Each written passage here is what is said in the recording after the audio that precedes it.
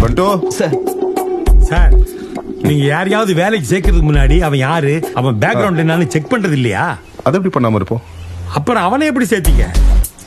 என்ன பேசுறீங்க ஆபீசர்